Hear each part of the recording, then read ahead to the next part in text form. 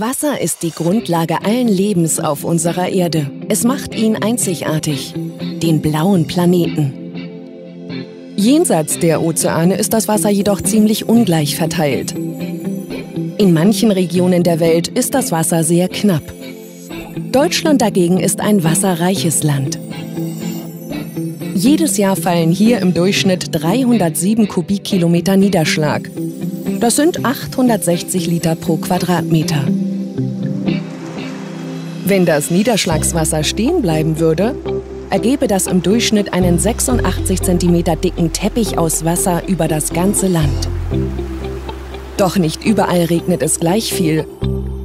An manchen Stellen ist der Wasserteppich dicker, an manchen dünner.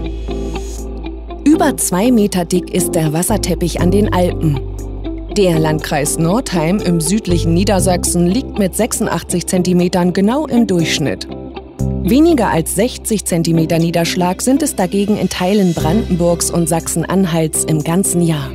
Doch einiges ist schon erreicht worden. Im Rhein kann man ohne Sorge um ernste Gesundheitsschäden wieder baden. Und sogar der Lachs ist zurückgekehrt. In klaren Nebenflüssen wie in der Sieg findet er wieder Plätze zum Leichen. Der Weg durch den Rhein ist zwar noch immer alles andere als sauber, doch einige hundert Lachse schaffen es inzwischen Jahr für Jahr wieder zurück bis ins Meer. Wasserwirtschaft, Forschung, Umweltbehörden und Verbände arbeiten daran, die Flüsse wieder in einen guten ökologischen Zustand zu bringen.